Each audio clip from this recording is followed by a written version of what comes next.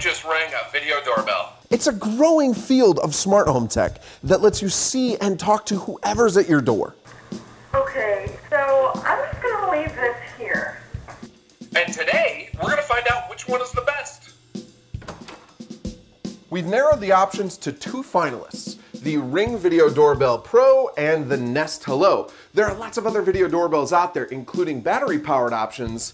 These two are our favorites. They're top of the line models and they both bring a lot to the table. So we're gonna dive in and figure out which one fits the best on your porch.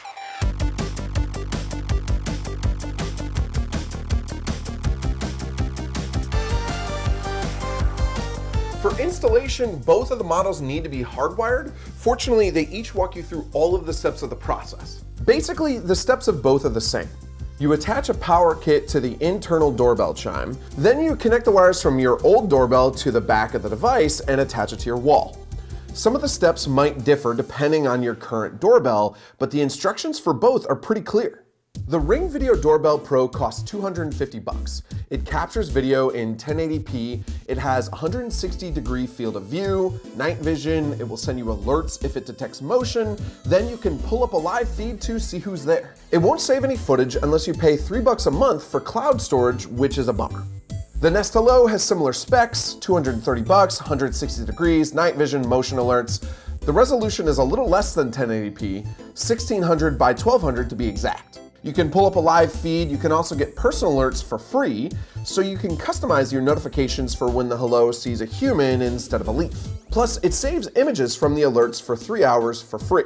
The Nest Hello can recognize faces as well, but you need to pay for that feature and any cloud storage.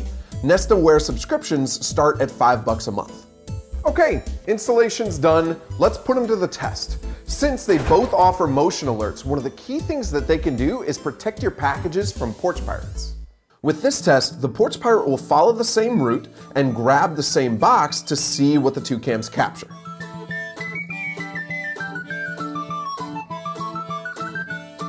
With Nest, the alert comes quickly enough that I catch the pirate in the act. The recorded footage on the right shows the entire route, and I get a clear view of the culprit.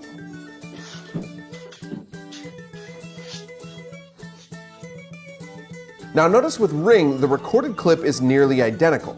I catch the whole act and get a clear view of the pirate's face, but the alert on the left is delivered much later. If I want to take action myself, I don't get as much chance.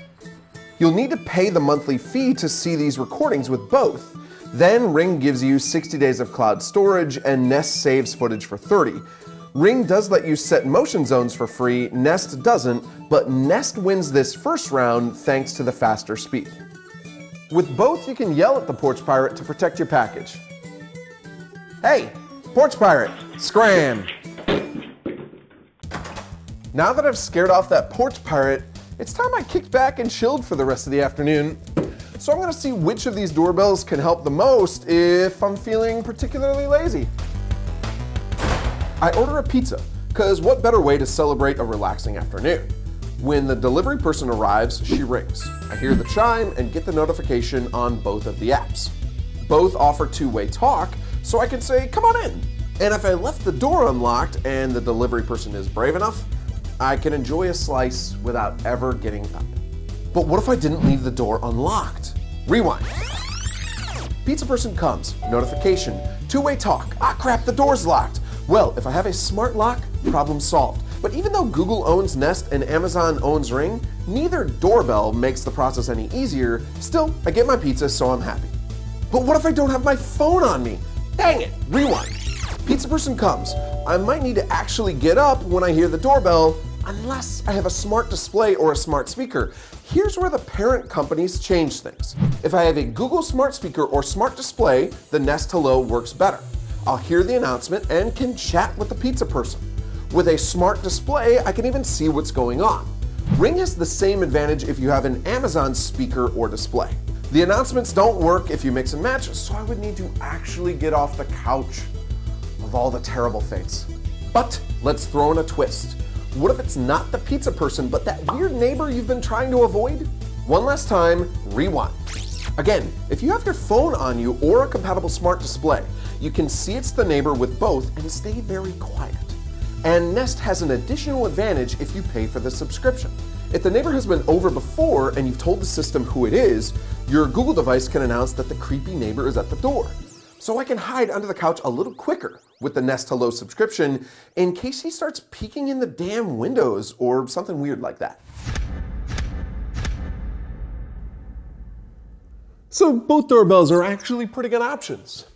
But both Nest and Ring have recently had issues with compatibility and privacy, and those things aren't quite as fun. So here's the Porch Pirate to talk through them. Hey, Porch Pirate, what's going on with Nest?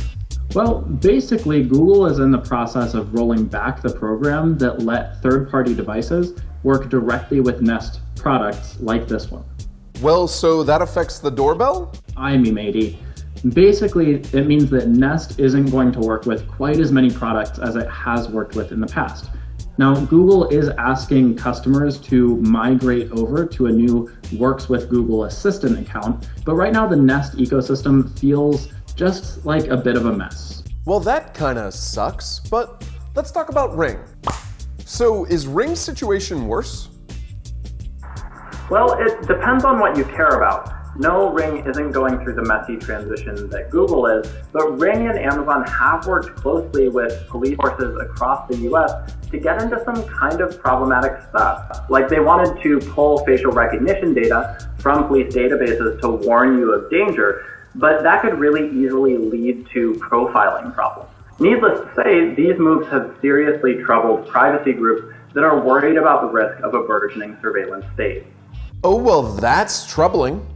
Yeah, so between the two cameras, Google is still trying to work out its connectivity kinks, and meanwhile, Ring is still trying to decide where it wants to draw the line when it comes to privacy issues. You pick your poison. Huh. Okay. Well, thank you, Porch Pirate. Or Okay, so both have associated headaches, but they still have really good hardware with a lot of good strengths. Nest can even show your front door on the TV with Chromecast, and Ring works with Amazon's Fire TV. The Ring Doorbell Pro works great if you're already invested in Amazon smart home stuff. The Nest Hello is the best choice if you have Google Assistant devices like a Nest Hub, and because it also has advanced features like facial recognition, the Nest Hello wins the day and is our choice for the best video doorbell.